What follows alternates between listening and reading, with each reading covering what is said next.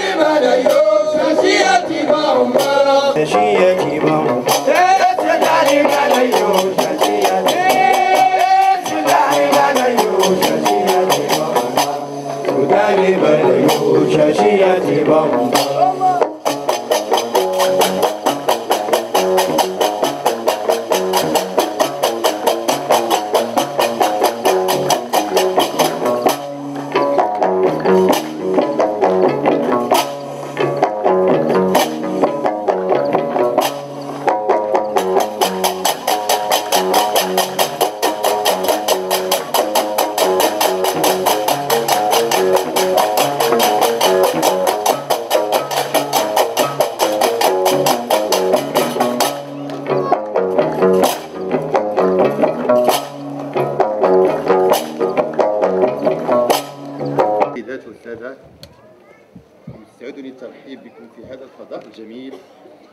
متنزه الحسن الثاني لافتتاح مهرجان الشعر الإفريقي في إطار احتفالات الرباط كعاصمة للثقافة الإفريقية تحت الرعاية الساميه لصاحب الجلاله الملك محمد سادات نصره الله ألو شكرا على وجودكم معنا اليوم كيف ما قلت للزملاء والإخوان ديالكم أعتقد بأن آه، يعني دور الصحافة مهمة جدا باش نعرفوا بالثقافة وخاصة بالشعر اللي اللي- ما عندوش. ما عندوش مجالات كثيرة باش يعرف على راسه على الإنشاءات أو الأعمال اللي كيقوم بها وبالطبع كيف ما كتعرفوا آه، الرباط عرفت مجموعة ديال الاحتفالات منذ سنة دابا تقريبا كعاصمة للثقافة الإفريقية وسيدنا الله ينصرو يعني كالرباط كعاصمة للمملكة عطاها كذلك مجموعة ديال ال- المكانات اللي كاينة اللي كتعرفوا اليوم الرباط هذا الوجود الثقافي القوي.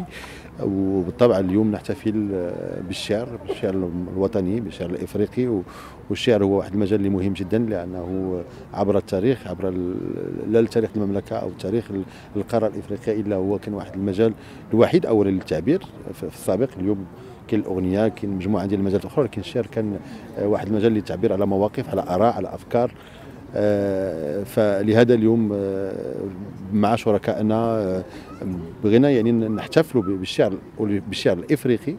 كمجال اللي مازال يقدروا مازال يقدروا نقويو مازال عنده واحد الدور اللي يقدروا يلعبوا لا على الصعيد الوطني لا على الصعيد الإفريقي وعبر الشعر الإفريقي الدور اللي يقدروا يلعبوا على الصعيد الدولي ك ك يعني في المجال ديال الدبلوماسية الثقافية آه، اللي بالطبع المغرب كيف ما كتعرفوا كيعطيوها أهمية خاصة آه، في المجال ديال التراث المادي أو الغير مادي. دال ورمزي قارتنا الأفريقية أفقنا الشعري ينعقد مهرجان الشعر الأفريقي الذي يعد لحظة هامة في التاريخ الثقافي والشعري المغربي. نعطي اليوم انطلاقة آه، مهرجان الشعر الإفريقي الذي تنظمه وزارة الشباب والثقافة وبيت الشعر في المغرب في إطار الاحتفال بالرباط عاصمة الثقافة الإفريقية وهي مناسبة في نظرنا من أجل التأكيد على البعد الإفريقي لبلدنا والتأكيد على دور الشعر في التقريب ما بين شعوب إفريقيا وما بين مثقفيها وكتابها وشعرائها. ربما آه، فاتت الكثير من الفرص في السابق لكن اليوم المؤسسات الثقافية وفي طليعتها بيت الشعر في المغرب نستعيد المبادرة من أجل أن نؤكد أهمية الشعر في آه، تحسين آه، المناخ العام الثقافي والاجتماعي والإنساني والحياتي داخل إفريقيا. دورة اليوم ستتميز بتسليم الجائزة الكبرى للشعر الإفريقي. التي تحمل هذه السنة اسم الشاعر ليوبولد سيدار سنغور وقد فاز بها كذلك شاعر سنغالي آه، كبير هو أمادو لامين سال حضرنا في بيت الشعر عددا من مجلة البيت خاصا براهن الشعر الإفريقي. كما حضرنا فعاليات متنوعة تؤكد البعد الإفريقي لبلدنا في هذه اللحظة التي نتطلع فيها إلى استعادة أدوارنا السياسية والاقتصادية والاجتماعية داخل إفريقيا.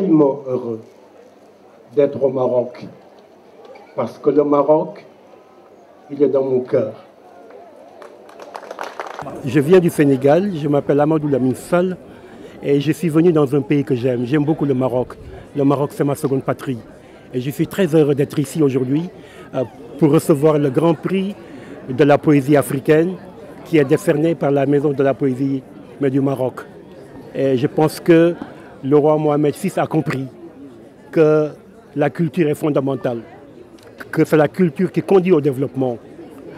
L'économie, c'est important, mais la culture est beaucoup plus importante encore que l'économie. Et je crois que le Maroc est une référence en Afrique. Euh, ce que vous organisez ici tous les jours hein, montre à l'Afrique et montre au monde que vous avez donné la parole à la beauté. Vous avez donné la parole à ce qui est humain. Vous avez donné la parole à la tolérance. Et c'est pourquoi donc mais je suis très heureux d'être ici. شكرا على المشاهدة. إذا أعجبك الفيديو اضغط على زر الإعجاب. لا تنسى الاشتراك في القناة وتفعيل الجرس وتابعنا على مواقع التواصل الاجتماعي. مرحبا بك.